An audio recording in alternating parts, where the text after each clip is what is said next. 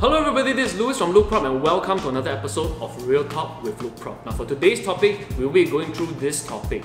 Does being near an MRT always translate into better capital gains? Right, so we will be actually analyzing this uh, based on a few areas and we'll be comparing projects that are near MRT and projects that are further away from MRT and see how they fare against each other. So without further ado, let's go. So before I get into the data, we'll be introducing a few controls in the selection of data so that we make it a fair comparison. Right, number one, we'll be only using completed properties that have been completed for at least a year so that we have resale transactions as a reference. Number two, we are choosing projects that have similar completion years within one to three years of each other so that you know, we, we, because there's no point in comparing too old of a property with too young of a property.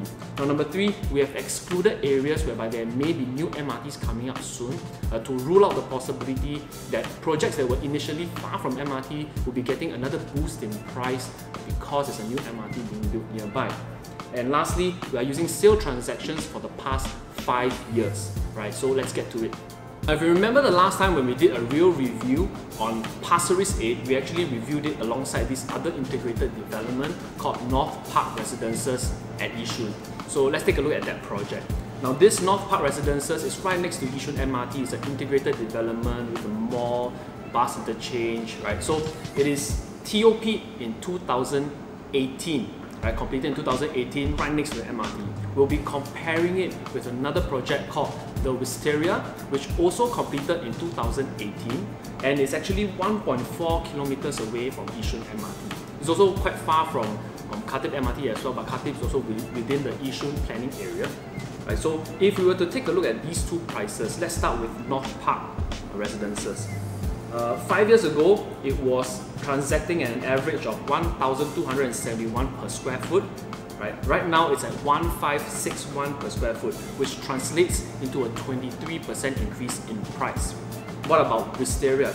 Wisteria five years ago was transacting at 995 per square foot, and now it is at 1262 per square foot, which translates into a 27% increase in price. So anyone that has taken a look at these two properties would naturally think that North Park Residences is the better property because it's so close to Yishun, it's an integrated development. But over the last five years, Wisteria has actually made more money for its uh, owners uh, and at a lower quantum entry price. So next we'll be looking at Pasir Ris MRT. Now one of the projects that are closest to Pasir Ris MRT is actually called D'Nest, which was TOP in 2017. It's actually about 580 meters away from the MRT station. And we'll be comparing it versus this property called Vue 8, which is 1.3 kilometers away from Pasir Ris MRT and also TOP in 2017. Now, D'Nest uh, was transacted at an average of 972 per square feet five years ago. Right now, it's transacting at 1067 per square feet, which translates into a 10% increase in price.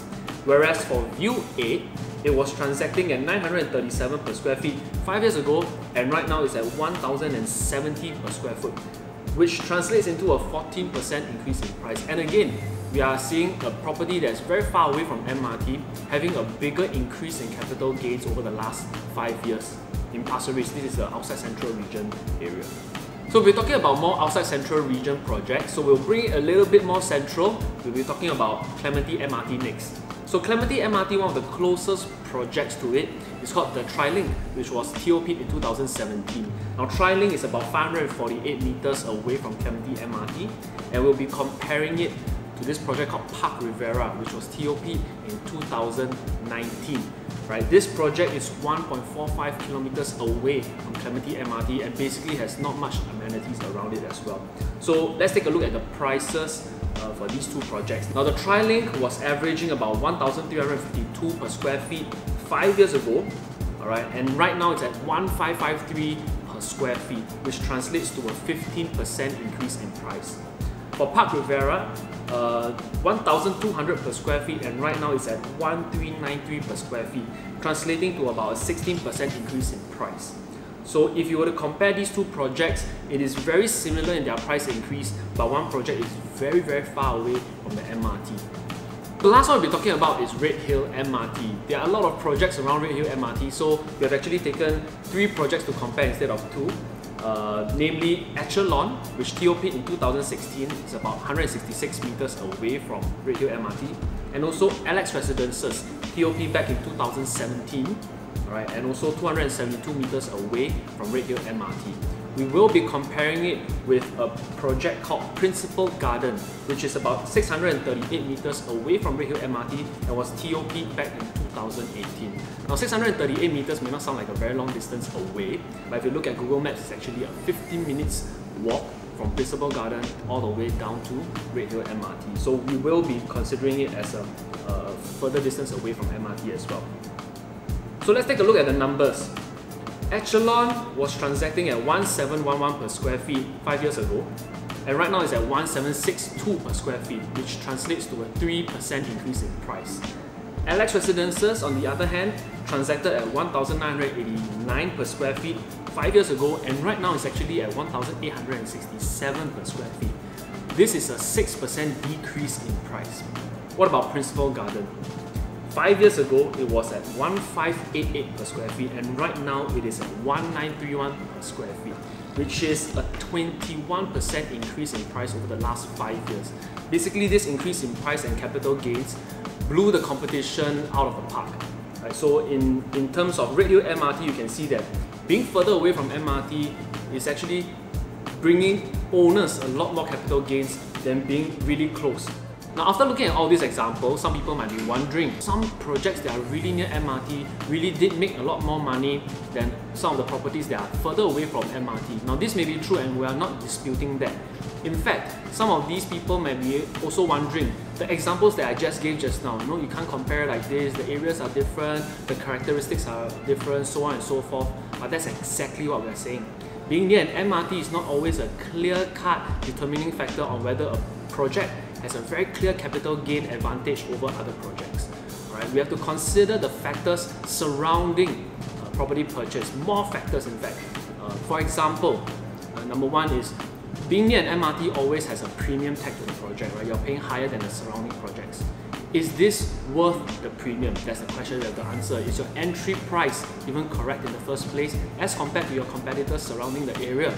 Right, number two, instead of just looking at MRT or schools or amenities nearby a project, when we're looking at location, you have to also consider your exit strategy, right? Um, is there an area transformation in the in, in the immediate region? Uh, are there immediate developments in the in the project or in the area that is worth considering as well? Who are your who are your buyers in the future? Who are your buyer pools? What are their profiles like? so on and so forth. When are you going to sell? How much you're going to sell, right? Uh, and another factor is rental, right? If you're buying for investment, are there a lot of rental transactions in the area? What is the rental yield like? So on and so forth. So as you can see, we're not saying that being an MRT is not a very big factor. In fact, it may actually be, it may be the determining factor when you're making a decision between two projects that have similar characteristics. So being an MRT will always win out Right? We are saying that being near an MRT is not the only factor to consider others as well. Uh, in fact, would you guys like me to do a live YouTube session whereby I go through projects which you guys are asking through the live chat? Right? If you would like me to do something like this, leave it down in the comment section below and if there's enough interest for it, we will definitely do it. So that's it for today's video and if you like what you saw today, please smash the like button and subscribe to the channel. As of this recording, we already passed 1000 subscribers and our next goal is 10,000 subscribers. So we really appreciate your support for this channel. And as always, this is Louis from LoukProp signing off. My Marty is here.